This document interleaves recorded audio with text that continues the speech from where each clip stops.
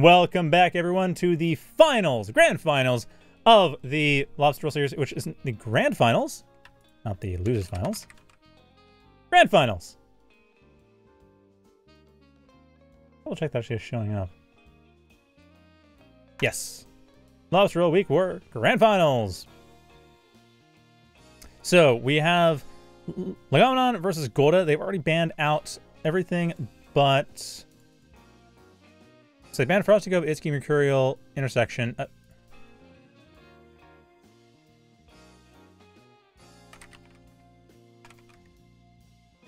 so they banned down to Baron, Fallendell, and Mech and Mech.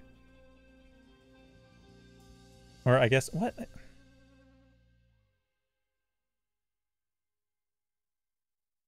Okay, I guess we just hadn't.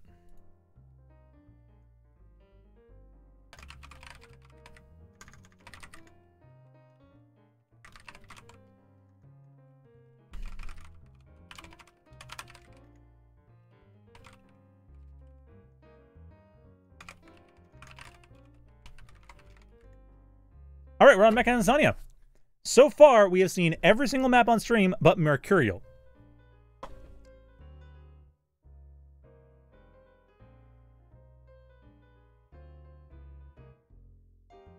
So we are on Mechadansonia. That's that will be neat. I mean, it is a it is a very macro-oriented map, so I think Gold is going to have an advantage here. But I don't know. I mean, Legomenon might be okay. Uh, it's one of those things that I just don't really understand so well. I haven't seen enough of Legomenon's play to know if they're that micro-oriented or they don't expand that quickly or not. But again, as I frequently say, my game crashed. Actually, no, don't, don't frequently say that. The game's pretty stable. That was surprising. But as I frequently say, there is a real distinction between the top level players and everyone else in terms of how quickly people expand, especially in a map like Mechadansonia. Although Mechadansonia is a bit weird. It's one of those maps where it actually does work a bit more like StarCraft in the sense of a slower expansion pattern because it is very clustered and a lot of the expansions are quite distant from each other. So there isn't the commitment of expansion because you have to spend a bunch of resources you otherwise wouldn't spend, but there is a commitment of expansion because you have a cat meowing at you. Sorry, a commitment expansion because you have a much larger distance to travel between expansions. But that will be something we see once we actually get into the game because, like I said, the game did in fact crash. That is our technical problem for the day. 0k crashed at one point before the game actually even loaded. We... Uh... There we go. Okay, so they're, they're still working out what they're going to do. Oh, Legomenon. Are they going for a... Ooh, I think they're going for a sneaky play. Are they doing the Godde play? Godde likes to play Spider or jump up... A Spider up here in this one cliff area. I think Legomenon is going for that instead. Legomenon, are you being tricksy? Are you being tricksy? No, you're being Legomenon. That's your name. Your name isn't Trixie. Where's Godde anyway?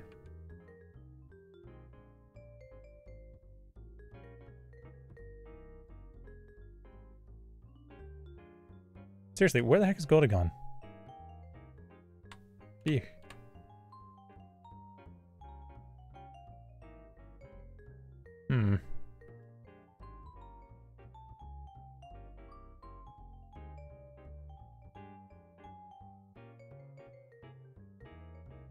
Yep, Legomenon going for spiders. Very fast spider build, and that should be... Good. Spider setup. Where's Godde? Okay, Godde. Are they, okay, they're doing the same thing. We are, in fact, going to see a Trixie Spider Mirror. That is our game for today. Both players going for the exact same build. Well, okay. One more technical problem for the day, and then we, will we'll be moving on to the game proper. Oh, that's no good.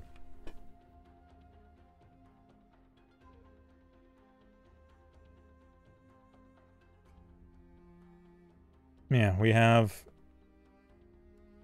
Godde being a tricksy boy. I'm not being a tricksy person. I can't right now. Sorry, Andre. My cat being needing something, and unfortunately, I'm not in the best position for dealing with that right now. All I can do is move around the map and I don't know, play around a bit with. Oh no, depth of field's fine. Sorry, I'm getting distracted trying to test the depth of field effects. it's just like, ah, it's good. I've made it. It's all good. I'm getting distracted. Where the heck is Godde? Well, anyway, dress chat. The King's Tat asking about the jazz. Yeah, so the jazz actually was something that I got from a friend because when I was doing Battlerite casts, when I was doing Battlerite casts a few years ago, friend of mine I was doing it with, we did our own like that was we were with an org we were with an org doing commentary for them, but we are also we did some of our own stuff.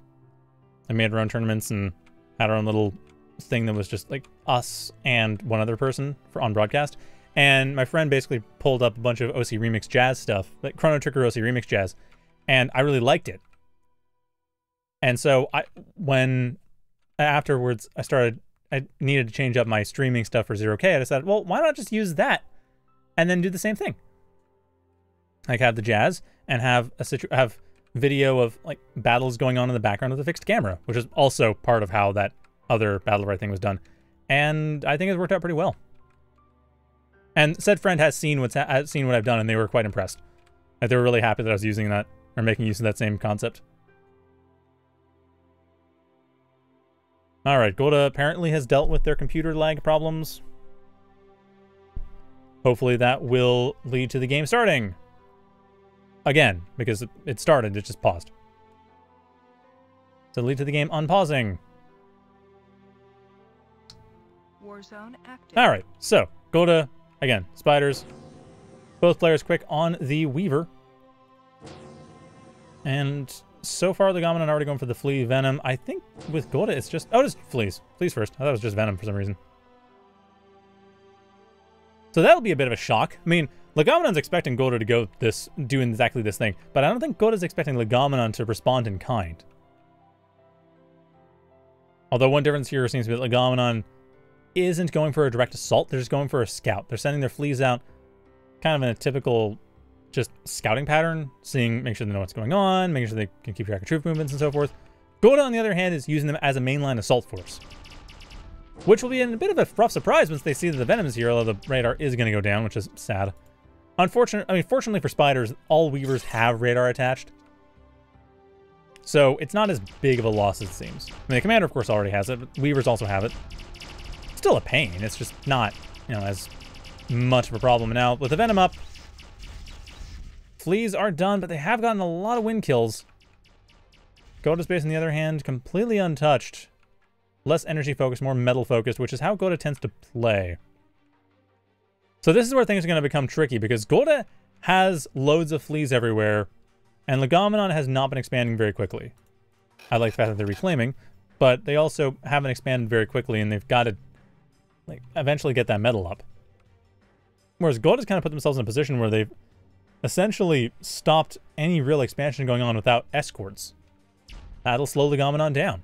So Godde will be able to take most of the map in the process, and, well, with Godde already taking the front center of the map, it's easy to take everything behind there, but Godde's also put fleas all over the backyard, and Legomenon's gotta deal with those, gonna have to deal with those before they can actually expand into the area they nominally control.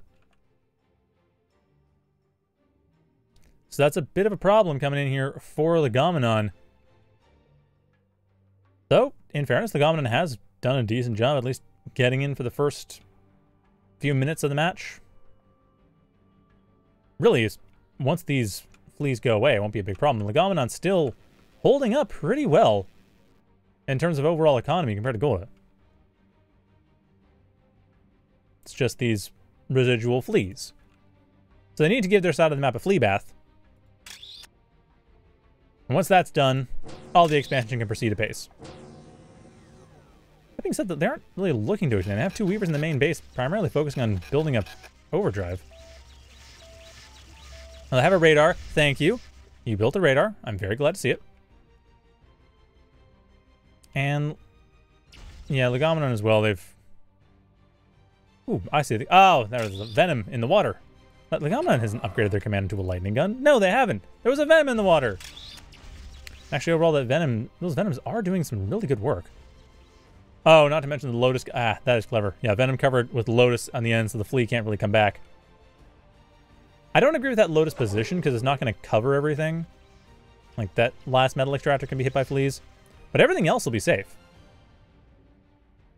Where's the Legomenon? Oh, I see what Legomenon's up to. Getting a little Lotus on the side here. Just to make sure any fleas that come down... Like, it's hard to target, but any fleas that come down the side are going to get hit by the Lotus. Ah. Lotus! Anyway. I could rotate the camera, but I choose not to. Actually, I probably should rotate the camera. This map really kind of requires it sometimes. Alright, well, Legomenon able to come in and get rid of one of the Lotuses, force the commander back, start breaking down Godde's defenses, and there should be a redback coming in very shortly. Yeah, there it is right now. On top of that, Legomenon a little behind on expansions, which is a slight problem, but hmm, still not doing too terribly. They still should rebuild, uh, should get expansions more quickly, though. Again, Godde's biggest weakness is that they tend to be very micro-focused. So if you can beat them on macro, then you can kind of have an even footing to start with. Whereas if Godde's beating you on macro, you're hooped. So the Legomenon right now, doing okay. They could use caretakers in their base. Godde has a lot more production going into the main base and already has switched over to redbacks. Oof, that is going to be tough. Recluses are on the way for the Gomenon, but it's a positioning question. Oh, and there's a Widow right here. Does not quite get spotted. Venoms aren't aware of it, are they? Oh, that's not going to be good. That, that Widow's going for the Commander. This is going for the Commander. The Widow comes in there, takes them out, and that is going to be the Redbacks finishing off Legomenon's Commander. I think that is going to be it. Legomenon's main frontal force is down. Venom's going on on a suicide mission, but really not the best option, especially not when there's more reinforcements in tow. And now Legomenon, having lost their commander, having lost their front line, having lost their main army, they do have a okay economy. They can rebuild, but they aren't actually using metal here. They're using it to build more metal extractors, which that's that's sensible. But at the same time, they might need more units. Like now. In fact, the only reason it's not showing up is because they don't have storage right now. I just don't know why this Weaver is doing nothing. I think I think uh, there's a misclick there at some point. That Weaver should be doing something more than it is. Oh wow, that's... Why am I... What the heck? What in the world's going on with my camera? Anyway, that is game one. And I said I didn't move the camera because I chose not to, but it's like I can't move it if I, even if I do choose to. I can move with a keyboard. That was weird. Anyway. I'm sorry about this. I suppose we just move on. Let's just move on. Move on to the... Oops, no, not the intro. I had a hotkey for that. Move on to the next match, which is going to be involve another round of map bans and is going to be on whatever map is, ba is banned. Though I don't think Mechadansonia is available. So Mech, I think, is out because the whole no duplicates thing, or at least you can't play an SAG1 on. So Lego could choose that. I don't know how that works. I don't think that works. I think it's just that that map is just auto-banned. I don't know, it's weird.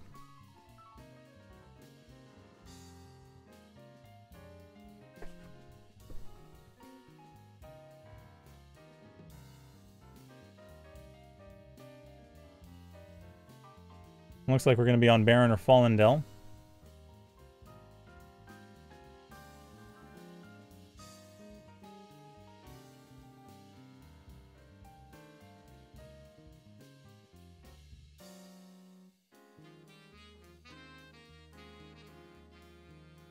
I mean, Lego wants Baron of Fallendell. Yeah, I'm just going to go through the process again. I think next week we'll have the... No, it's first of two. Fine step. The grand finals are best of three. So we're into game two of the grand finals, which I should probably point out in the thing, but no, I won't because there's a thing at the top of the screen that shows which one we're on once we're in the game, is the win counter.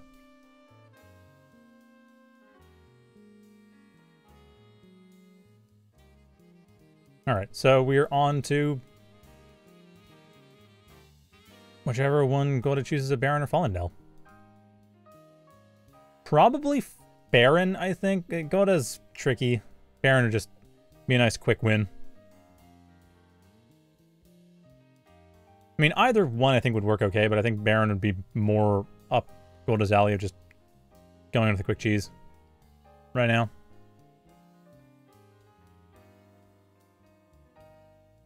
Not that they wouldn't do well in Fallendell, I just don't expect they're going to go for that.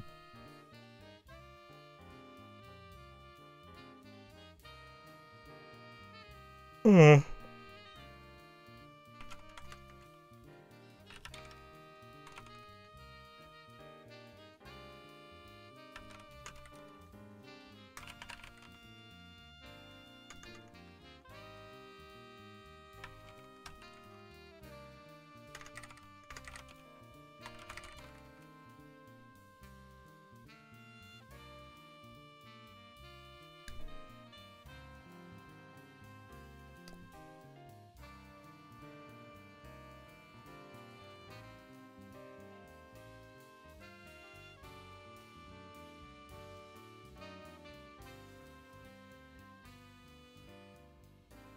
Anyway, go to go to go for Fallendell. Okay, so we are on to Fallendell.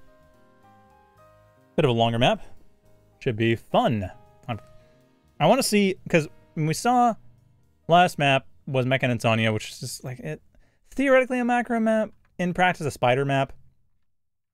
But with Fallendell, that is more in practice a macro map, or at least a semi macro map. So I think this will be a actually interesting match and not just a weird situation where both players go for the same strategy. Although, admittedly, I gotta give credit to Legomenon. They pulled it off reasonably well for having probably not practiced it anywhere near as much as Godde.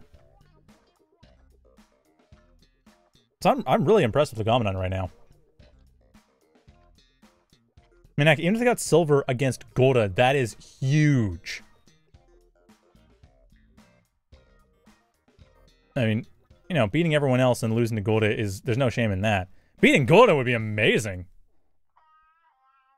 But, again, at the beginning of the tournament, I said I'm not sure if players are just playing for silver and figuring Godde's going to win. But, if they are, well, Legomenon's not really in a bad situation, all things considered. Uh, Godde with the Amphbot Factory. And it seems to be a favorite on this map which kind of makes sense. Well, Legomenon going for Cloak bots, and so we have Amph and Cloak. Which, did we have before? We had Amph and Tank. We had Cloak and... No, we had Rovers and... Amph, I think. No, it's Cloaky and Tank. That's right. So yeah, Amph and Cloak. I'm glad to see this map actually supports a wide variety of factories. I don't know how well it supports them, honestly. I think we're not really in a good position to judge tank right now. It's it's it seems really strong, and I feel like there's something missing in terms of unit compositions. Like we need to see what players who are planning are willing to use more than just a couple units out of the factory actually get. Because the times we saw Tank v Cloaky was kind of weird either way. But yeah, we're seeing Ampbot, we're seeing Cloakbot, we're seeing Rovers, we're seeing tanks. So far, Ampbot and Tank well, tank more so has still been really strong. Ampbot seems strong enough. I mean, he has a healing from the middle river, but not very much. Yeah, for those not familiar, Ampbots will heal when they're in water, though this much water only heals like 2, two health per second. It depends on depth. The deeper the water, the more they heal. And the Gomenon having seen the ducks, which is immediately over to Ronin guess they realize they are against a slower force, so it's going to be easier to defend, but also ducks are kind of hard to deal with as glaives. As we can see right here, yeah, they're hard to deal with as glaives. I mean, with multiple glaives is no problem, but yeah, the Ronin seemed like a better option. The Legomenon expanding nowhere near as quickly as Godde. I mean, Legomenon, they have... They have one Conjurer. They aren't building any more Conjurers. Their commander is expanding a little bit more, but it's not much. Certainly haven't taken anything outside their main base. That's kind of it. I mean, granted, this map does give you super mexes in your main base, which is a kind of neat way of making it a little easier to get into the macro game without having to worry about getting blown out in the Raider game. Doesn't help much, but it's an interesting touch from a map design perspective in terms of what we were talking about earlier and the way Zero K is optimally played. Might not be a bad idea as a way to kind of give the early game a little bit more stability. I pronounced that weird. A little more stability. Because that's one of the things about Zero K. The early game is extremely volatile. And a lot of that is that almost all of it is that your expansions are super important compared to your main base. So, yeah, I like it. Same metal, but fewer extractors, so a little bit more you can go to units. Legomenon, speaking of, though, has quite the scary army coming in here. Not a bad composition either. I mean, the Ronin are scaring off the Ducks. You have the Reaver in case the Ducks get too close. Glaives as ways of, extract of exploiting any real weaknesses in the lines. And we're seeing Godde once again going for that duck spam. I'm... I don't know, we're, we're seeing it. It's a thing. Same time, the Reaver will be close in position. The Ronin, however, having a bit of a hard time, but they are still basically fighting on even footing against the, the Ducks. But of course, the Ducks have shorter range, so the Reavers are useful. It's a weird position. Like, Ducks don't outrange Riots, but they really wreck Glaives because of the fact that their weapons are homing. Like, I don't know. It's weird having a homing missile raider, but that's what we have. Oof, and now Ducks coming in here should be able to deal some more damage just because there's nothing in the way to stop them. Reaver able to pull in, put the screws in, but the Ducks are just, they're, they're getting out of here. They're, it looks like they're going for an assault. They're not even going for a straight up defense. I mean, it's definitely, there's a flank going on, but that's not the main story. It looks like these Ducks could easily go around, but I think there's too much pressure from Legomenon. Godde isn't going to abandon their main base. No, but they Maybe they are. They built enough. They could actually just use the ducks to cut off any reinforcements from Legomenon. But Legomenon at the same time is now in a position where they can actually start really putting the screws in because they have the Reaver right in, the Ronin are at the factories. There are a couple boys, but that's the only real thing that's stopping any of this.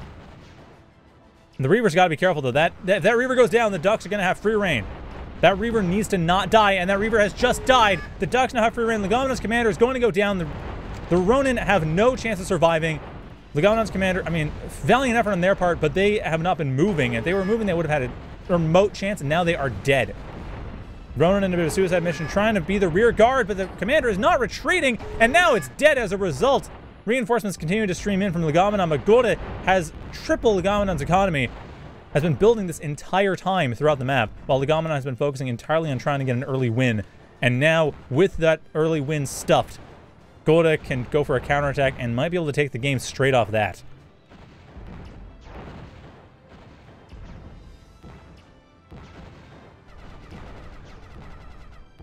That being said, Legomenon may have a chance to take out the army if they play this right in terms of positioning.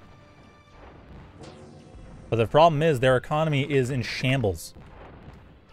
Like, one of these conjurers should be going up and start rebuilding, but even then, it's, it's tricky because you don't know where to rebuild that's safe. And this is one situation where I'm not going to get on people's butts about radar because the thing is, is that the that one unit is going to be important. But no, that's it. Legomenon throws in the towel. That is game. Legomenon went for it, tried to take it 1-1, but they did not manage. And that is Godde going 2-0, grand finals. Taking it from Legomenon. And we are done. That's it. That has been Lobster Roll Week 4 Congratulations to Godde for getting first place. Congratulations to Legomenon for getting eh, massive congratulations to Legomenon for getting silver. Like that, That is saying a lot. There's, I mean, you know, some competition there. Steel Blue is a strong player. Stuart 98 is a strong player. Ted McFred is really making a name for themselves, and Bloa is also someone who's been coming, who's up and coming. But yeah, that that was impressive. So I gotta say, Legomenon, very well done. You punched well above at least your rank weight. Yeah, beautifully done. And then Steel Blue, of course, good job in third place. Steel Blue has always been a strong player for years now. And then Ted McFred getting fourth, another bit of a surprise, but yeah, that'll bring the rankings. We see in the we see in the standings right now, Ted McFred is pretty well at the bottom of the standings. And now they've actually gained some points. The Legomenon coming in, and the Legomenon was sixth place. They're going to be moved up quite a bit. Steel Blue did perform above their seed level, but yeah, this is this is Legomenon's day. Though, good job Godde as well, taking the tournament as a whole. And yeah, thank you all for who are joined to play. Thank you all who are watching, and have a good night. See you next week. Or tomorrow, actually, I'm going to do some, probably some exhibition request matches, but next week for the rest of the tournament.